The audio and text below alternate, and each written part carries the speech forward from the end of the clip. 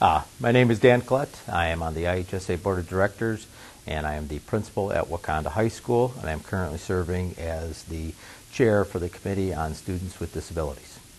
Uh, the goal of the committee is to bring forth to the board uh, a recommendation as to what we can do to help students across the state of Illinois with disabilities. Uh, our first meeting, we, we gathered uh, representatives from across the state uh, who are either principals or uh, athletic directors, and we talked about uh, what currently is happening with students with disabilities across the state. Uh, we made the determination that we really needed some insight as to the different groups that are involved and so at our second meeting today, we brought in various groups, including uh, students, parents, different organizations uh, that serve students with disabilities in various capacities. And we were able to ask them some questions and get some information from them, uh, which is starting to give us a direction as to uh, what our recommendation might be for the board. Um, how we're servicing students um, including them uh, already in IHSA activities, and if there's a need uh, for us to do more.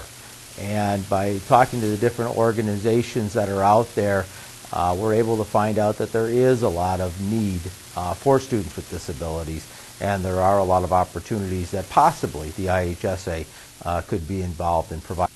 Um, we learned some wonderful things today. Uh, just you know, some highlights of, of what we got to hear uh, were from some of the current students who are participating. Uh, that sometimes, even as a, as a principal, you're not always aware of what's going on. And you see these students that are able to participate with able bodied students. And uh, we had a young man in golf. Uh, and we also had a young man who's been participating in his baseball program. And both of them have physical disabilities and, you know, could do better than I can do. Um, we heard from a parent who was just ecstatic about the fact that she got to see her son not only participate on a cross country team, but also have a reasonable amount of success in beating someone along the way. Um, and then we got to hear some stories of some of some folks that are currently involved in different organizations, but at one time were high school athletes themselves and wanted more opportunities, and how they've gotten involved after high school, and now this is their lifelong passion.